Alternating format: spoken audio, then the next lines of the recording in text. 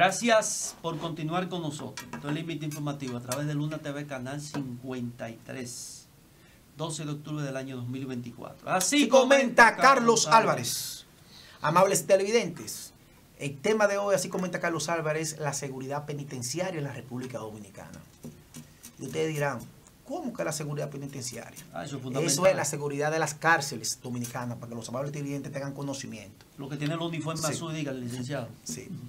Esa es la ley 113-21. Esa es la ley que regulariza la seguridad de las cárceles.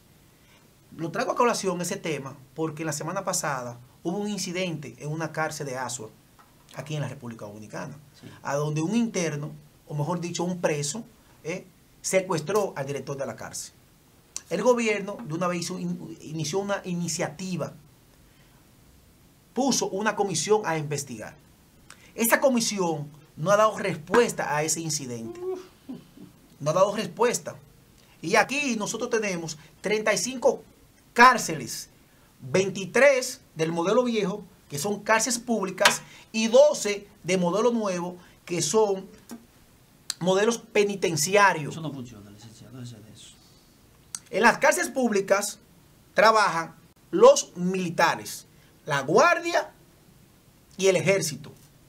Y en las cárceles de modelo penitenciario tenemos agentes penitenciarios que no son militares.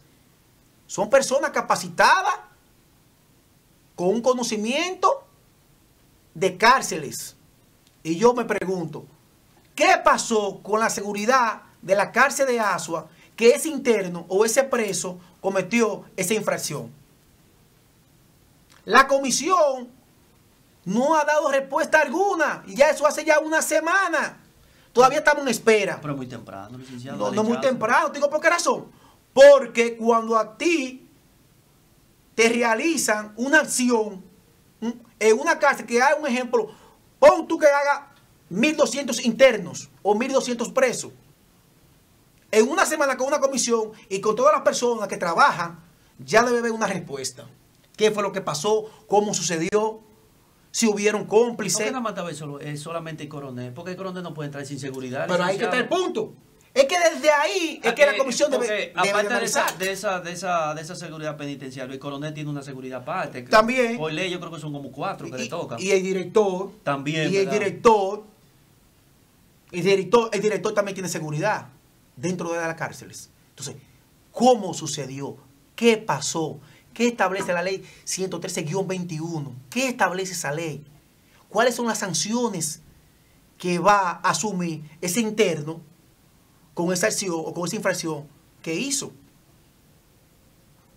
y nos estamos haciendo eco de las cosas. Esto no puede estar sucediendo aquí en República Dominicana. Nosotros somos un país muy pequeño y estamos haciendo cosas de países latinoamericanos que tienen un índice de delincuencia fatal, fatal. Debemos tomar carta en el asunto. La seguridad penitenciaria es una de las es una de las seguridad o un modelo que se debe respetar y darle más opciones porque cuando tú me hablas a mí que tú tienes una cárcel dominicana sin seguridad, ¿qué va a pasar con su interno? ¿Puede haber fuga? Pero a cada rato hay eso. Sí, pero, que, pero que se- ¿a dónde se queda? ¿A dónde se queda? En algunos que lo decimos. ¿Mm? ¿A dónde se queda? No hay, no hay personas que le dé seguimiento a las funciones de la seguridad ¿Y penitenciaria. cómo entró, cómo entró ese coronel solo, licenciado? Ahí que yo digo cómo entró, porque fue el director de la cárcel, no fue el coronel, fue el director de la cárcel de Sí, Asua. pero era un coronel. Un coronel. Sí, porque ese es un modelo viejo, pero se le dice director. Sí, Y mucha gente le dice alcalde. sí. Entonces yo me pregunto, señores, Y por- entonces tampoco se puede saber nada porque el, el recluso eh, fue asesinado. ahí está.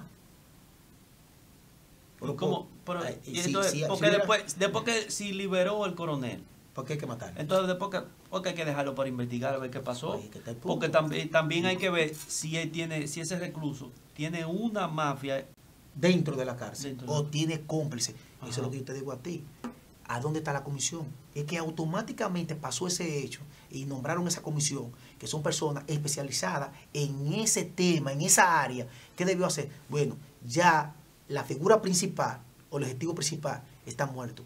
Vamos a regularizar por este lado. Porque Sí. tiene que haber una respuesta para eso. Eso es Eso no fue solo. No. Eso no se hizo solo. Eso se hizo con una asociación que hay que darle curso a esa situación. Así comenta Carlos Álvarez. Es un, ca- un caso complejo. Complejo y Según peligroso. se, según se ve una foto, licenciado, es como un colmado eso, o una habitación. Colmado, porque en la cárcel pública hay colmado. Es como si fuera un barrio. Sí, es como- se ve como, porque también la imagen no se ve bien. No, porque recuerda que fue grabado por un, ce- por un celular y fue de lejos.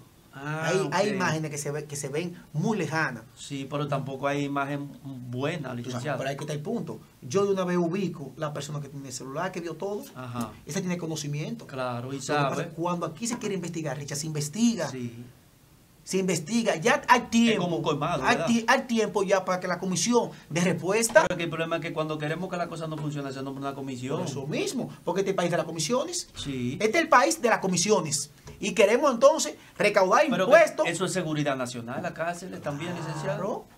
La cárcel es seguridad nacional. Yo creo que la- las cárceles deberían de dársela a, otro, a, otra, a otra- a otra gente que lo... Bueno, que tú dirás también, pasa eso de que sector privado, eso es otro problema también. Pero si tú lo pasas si sector privado. O el DNI debería tener eso. No, si tú lo pasas si sector privado, tú vas a una compañía de sector privado y manda a esos agentes a especializarse Sí. a otros países Sí. que tengan conocimiento pleno, Pero yo pensaba que eso, Pleno. esa gente que estaba, lo de, lo de azul, como mucha gente lo conocía, a otra parte. pleno. Y que a Eh, veces se ven poco. Entonces, eh, que porque, oye, hay 35 cárceles y hay 23 del modelo viejo y 12 con el nuevo modelo. Que todavía están todas esas siguen ¿Eh? igual. Que están- Porque estamos, la- estamos en pampa. Porque la, En diferen- seg- la en seg- diferencia a veces, licenciado, es tiché. Claro. Bueno, porque tú dirás di que No, mucho más de lo mismo, tú- que tú puedes estudiar, claro, tú puedes tú tienes- estudiar, tú puedes hacer cursos. Tú tienes varios beneficios en el modelo nuevo, Sí. pero también existe la corrupción en ese modelo. Ay, coño. ¿Mm? Vamos al desahogo, vamos al desahogo, señor director del desahogo. Bueno, eso está difícil, eso como decía el licenciado. Eso está difícil. PLD y FUPU, señores. Otra vez, otra vez.